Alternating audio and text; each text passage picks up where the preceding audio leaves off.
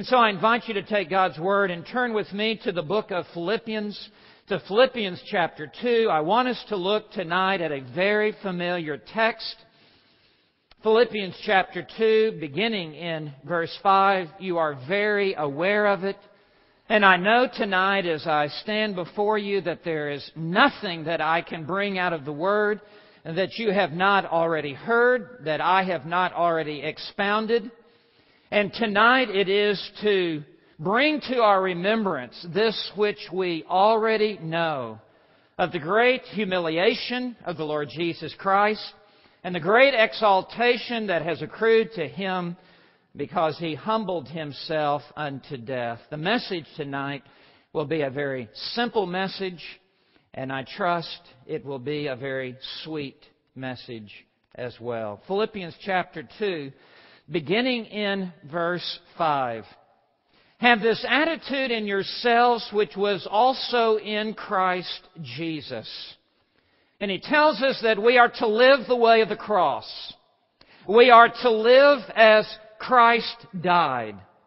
We are to live with humiliation and self-denial. And we are to live with obedience to the will of God.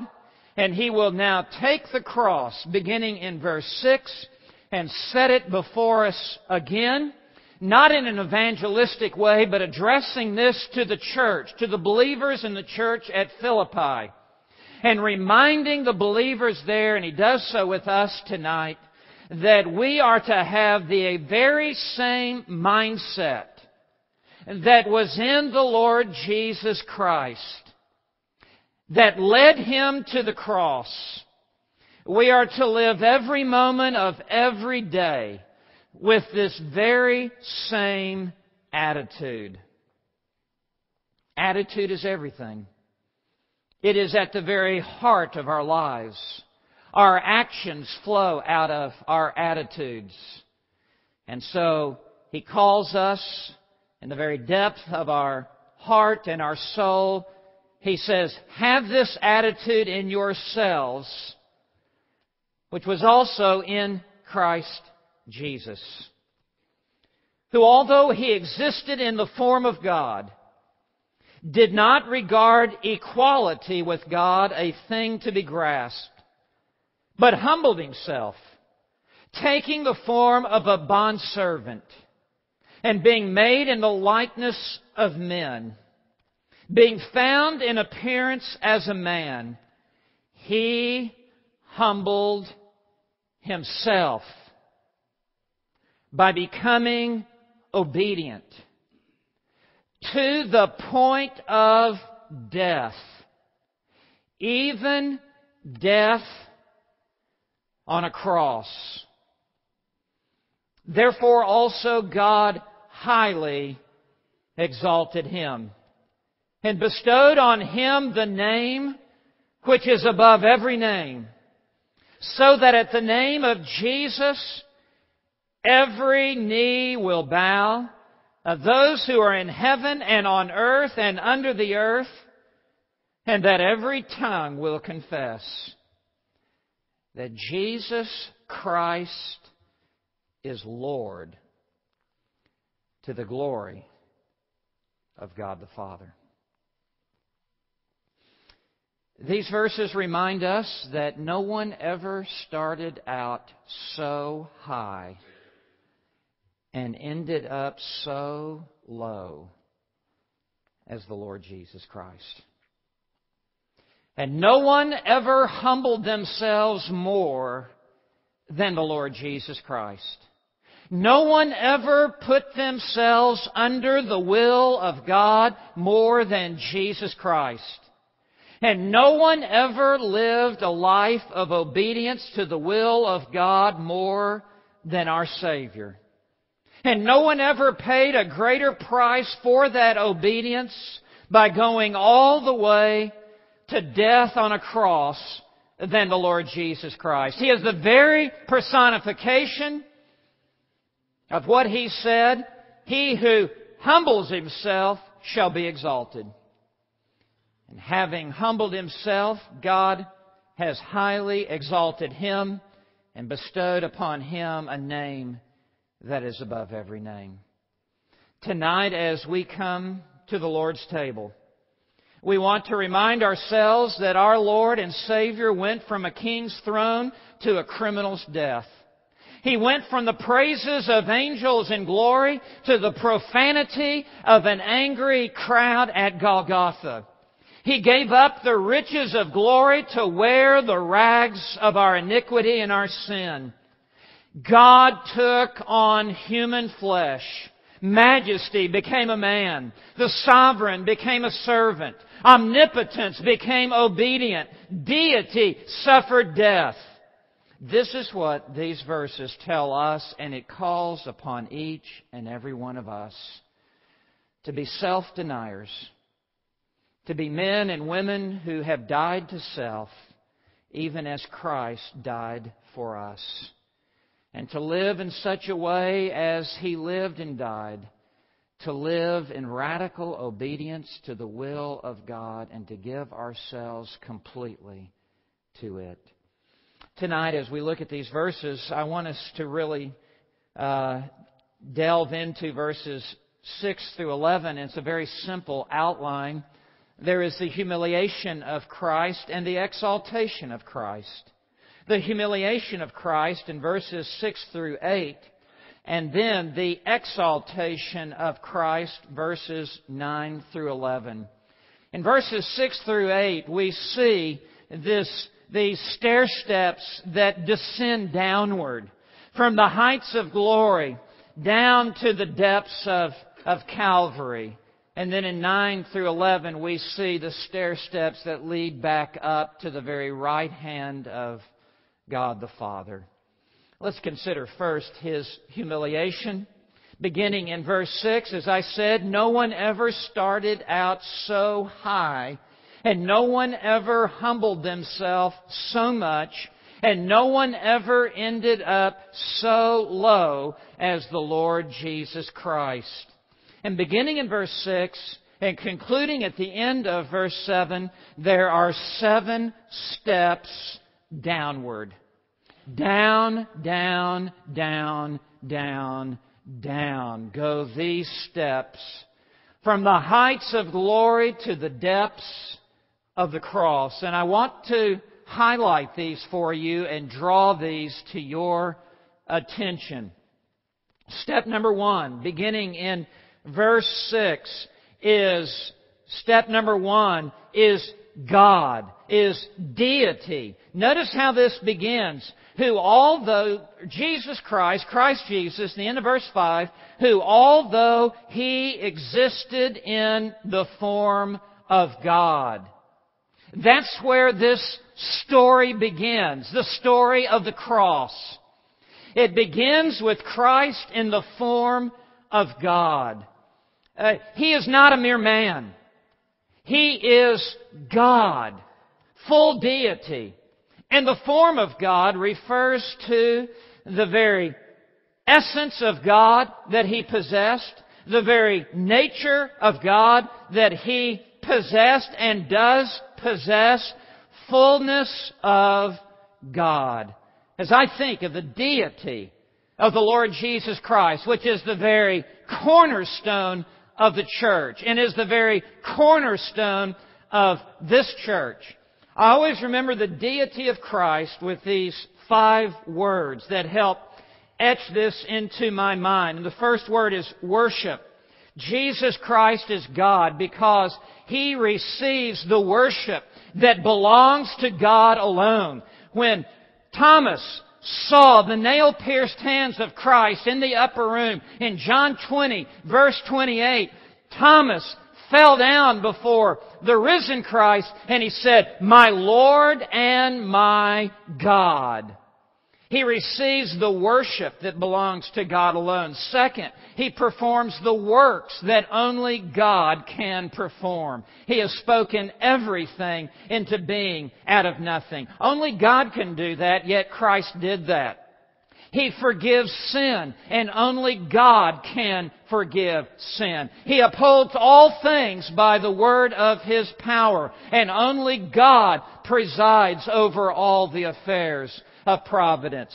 He will be the final judge on the last day before whom every lost man will hear the sentence read from this Lord Jesus Christ.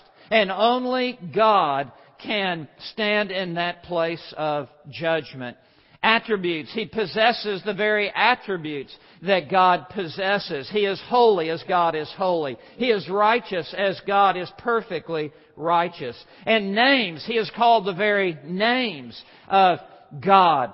He is I am the very name that God took for himself. I am who I am. And it is Jesus who has said, I am the light of the world. I am the resurrection and the life. I am the way, the truth, and the life. Jesus Christ takes the very names of God to himself and they fit. And finally, the word equality. In so many texts, he is assigned a place of absolute equality with God. In fact, this very verse, verse 6 that says that he did not regard, what's the next word? Equality with God. Could anything be any more clear tonight for anyone who has a Bible in front of them with black type on white paper?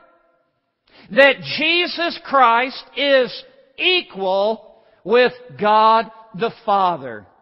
And so for these five words, worship, works, attributes, names, equality, Jesus Christ is God, very God. And that's where this begins.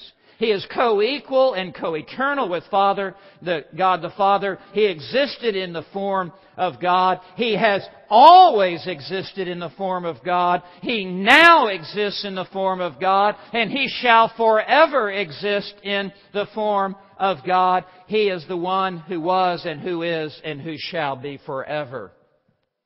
And so this begins with the highest rank and the highest step as God. Could there be any step higher than this step? Could there be any name or anyone any higher than God Himself enthroned in the heavens? This is where this text begins. Who, although He existed in the form of God, did not regard equality with God a thing to be grasped. This leads to the second step, which is man. Step number one, God. Step number two, man. And Him who has existed forever throughout all eternity past as God, without ever giving up any of His deity, but taking to Himself fullness of humanity he became in the incarnation the God man. Not half God and half man, but fully God and fully man. That is the second step down. And what a step down that is. To go from being God to being man while retaining the fullness of His deity. And so we read in verse 6 that although he existed in the form of God, he did not regard equality with God a thing to be grasped. He did not cling to all of the free exercise of his authority in the heavens as being equal with God. Verse 7 says, but emptied himself. It's the Greek word kenosis. Emptied. Kenosis. And this means not that he surrendered any of the attributes of deity. Rather, it means that he took upon himself the limitations of humanity and veiled his pre-incarnate glory and voluntarily chose not to use all of the divine prerogatives that belong to Him as God. He emptied Himself of the prerogatives that were His to use the fullness of his deity. And so step number two is man. Step number one, God. Step number two, man. And the Word became flesh and dwelt among us. And we beheld His glory, glory as of the only begotten of the Father, full of grace and truth. And it goes on to say at the end of verse 7 that He was made in the likeness of men. He became like you and me in every way, yet without sin. He was subject to human weakness. He was subject to human temptation. He was born of a woman under the law, and he became like us in order to save us. He came and got into our skin that he might take our place upon the cross. Third step down. Number three is bond servant. First, God stepped, stepped down to become a man, yet he stepped down yet further to become a bondservant. He did not become just any man of high rank. He did not come as a king. He did not come as a prince, nor as a governor, nor as a judge, but he stepped down yet lower and took upon himself the form of a lonely bondservant in servitude and in submission, and he existed to do the will of his Father. What a step down it was just to become a man. But not just the greatest of men on the outside with privileges but he became a bondservant. Mark 10, verse 45. For the Son of Man has come not to be served, but to serve, and to give his life a ransom for many. Were that not enough, there is yet a fourth step downward, and it is the word obedience. As we continue to read, it says in verse 8, being found in appearance as a man. And let me say, that appearance was not that of outward beauty and, and regality. He took upon the appearance of a man, of one of, of earthenness and roughness, and as men looked upon him, they hid their face.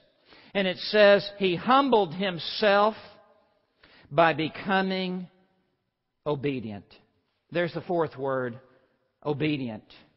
As He came in the form of a bondservant, He denied Himself and pursued the will of His Father, and He was obedient perfectly to the will of the Father. He came not to do His own thing, but the will of the Father, and he lived a life of absolute self denial and obedience.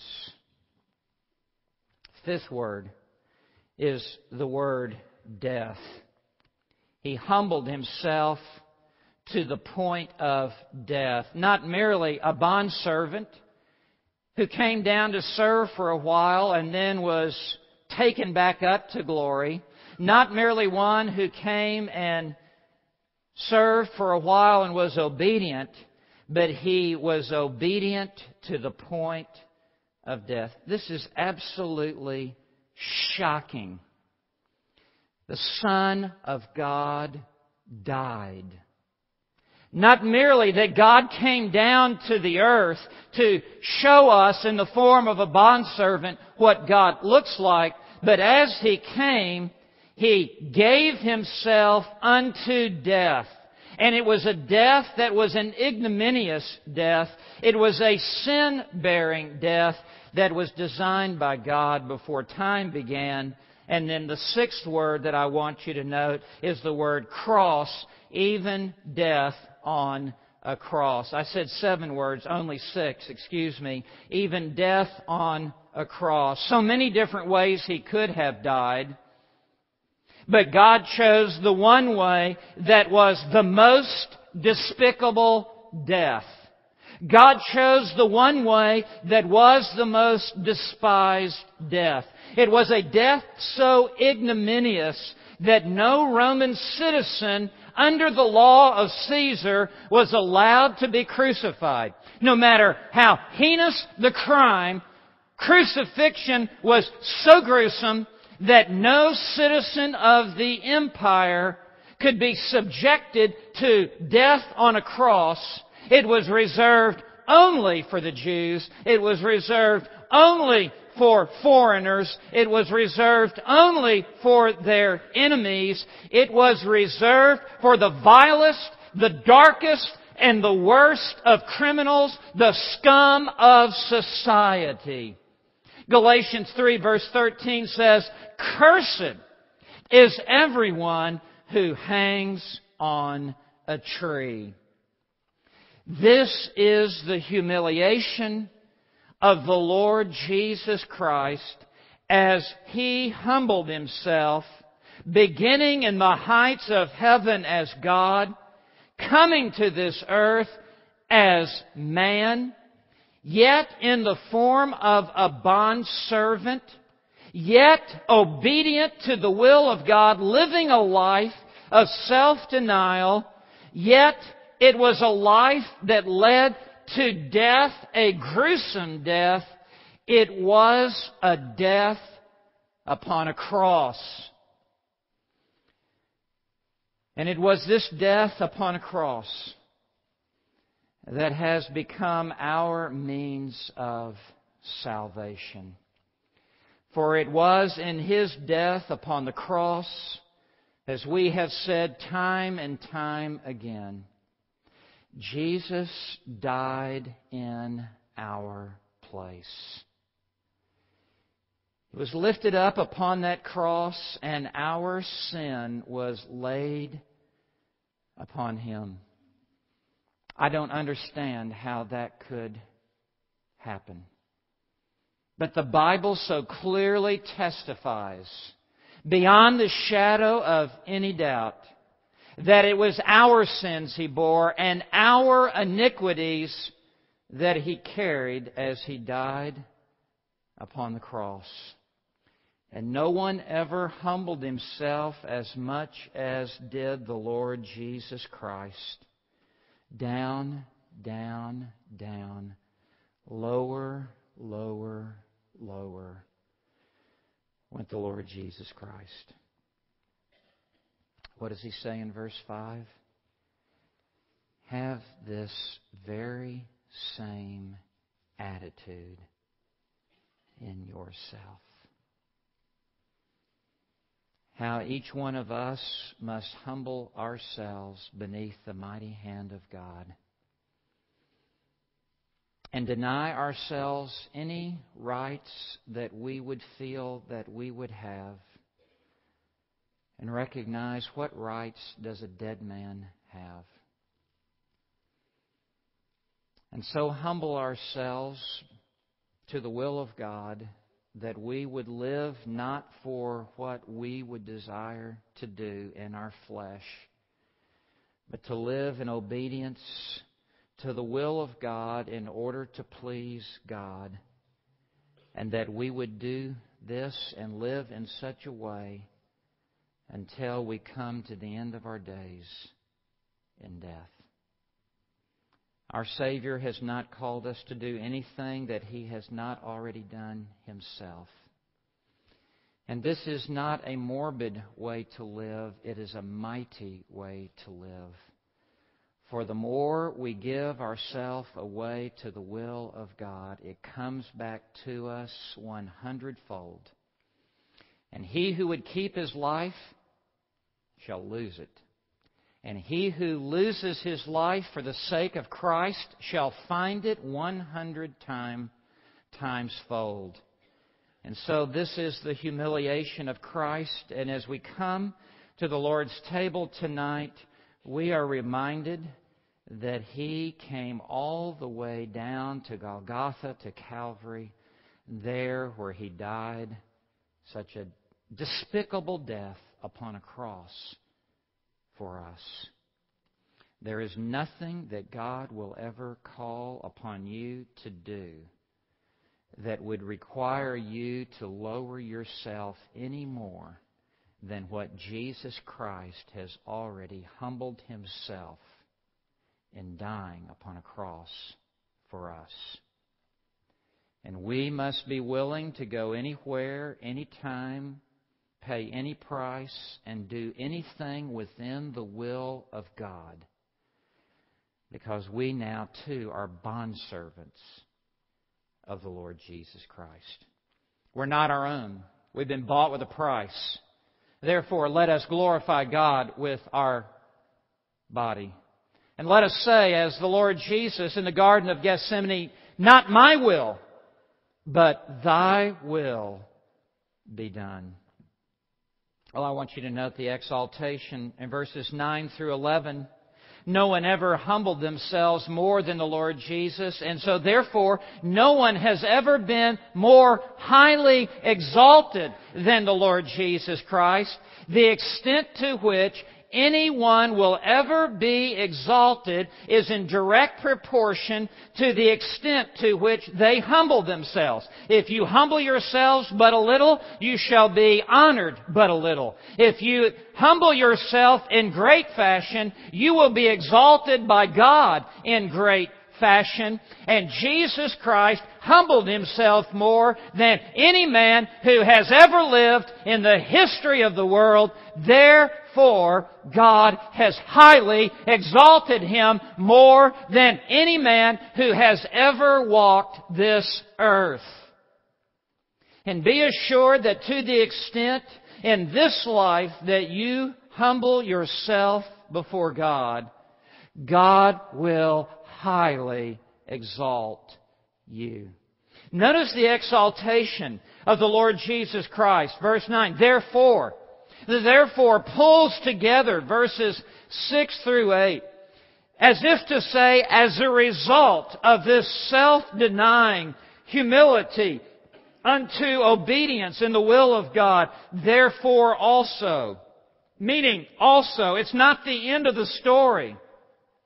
Also, God highly exalted him. Not merely exalted him, but has highly exalted him. We know that that exaltation is so high that he is enthroned at the highest place of the entire universe at the right hand of God the Father. Think about this exaltation as he died in ignominy, as he died in defeat before the watching eyes of the world. There upon that cross, God took him from there. And God exalted him and bestowed on him the name which is above every name. So that at the name of Jesus, and this name is a real name. This name, he will tell us in verse 11. This name is the highest name in the universe.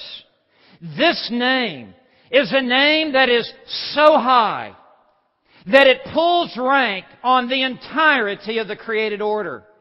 It is a name that is so high, verse 10, that at the name of Jesus, every knee will bow of those who are in heaven, and that refers to the entirety of the angelic host, myriads of myriads in heaven, as well as redeemed saints who are already around the throne of God. Every one of them will bow their knee in submission forever and ever to Jesus. And those on earth referring to demonic spirits that are loose upon the earth. It refers to believers who are upon the earth as well as unbelievers. You see, in the final day, there will be no atheists. Every knee will bow. And not only even of those on the earth, but he says at the end of verse 10, and under the earth. And under the earth, that refers to the bowels of hell itself. And in hell, there are fallen spirits, so foul, so fiendish, that a portion of them have already been consigned to the, to the hottest part of hell. And during the tribulation in Revelation chapter 9, it shall be opened and they shall be loosed one last time during the tribulation. And also in hell are those who have died without Christ. Whether they heard the name of Christ or whether they did not hear the name of Christ, the fact is they died without Christ. And they now are rightly and justly suffering for their sins in the flames of hell. And even those in hell, this says, they too will bow their knee in homage and in submission, and they will utter these words in verse 11. In all of the created order, whether angels and redeemed saints in heaven, or believers or unbelievers or demons on the earth, or unbelievers or fallen spirits in hell. The entirety of creation brought under the Lord Jesus Christ and in submission to Him, all of creation reconciled to this position of submission under the Lord Jesus Christ, verse 11, that every tongue will confess whether saved or lost, elect angels or fallen angels, every tongue will confess that Jesus Christ is, and here is the name that God has bestowed upon him. It is the name that is above every name. It is the name that is synonymous with deity. It is the name that means that He possesses supreme authority. It is the name that means that He alone has the right to reign and rule over all the universe and over all creation forever and ever.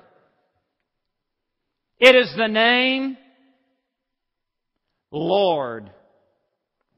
Kurios and in this day and time, when one mentioned the word kurios, there was no mistaken as to the meaning of the word kurios. In the Roman Empire, there was one kurios. He was Caesar. And Caesar and Caesar alone ruled over his empire of tyranny. And Caesar decided where armies would march and which kingdoms would be annexed, and where someone would live, and what someone would do to work. All authority was invested in the empire in Caesar. The Christians understood that. They had been put to the test time and time again. Who is Lord. And once a year, every citizen of the Roman Empire would be called upon to pledge their allegiance to Kurios.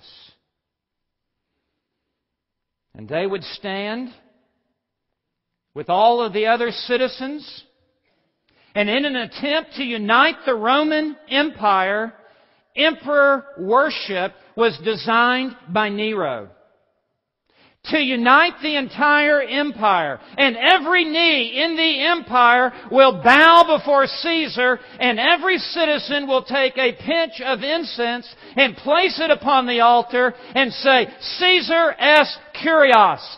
Caesar is Lord. And as Paul writes this, it comes with dramatic impact and effect. For Paul overturns